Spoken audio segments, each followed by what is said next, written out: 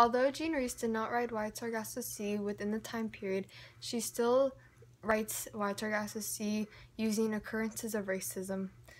Jean Rhys writes this and emphasizes upon racism in order to show her readers that racism hasn't exactly evolved as much as we'd like and hope that it has.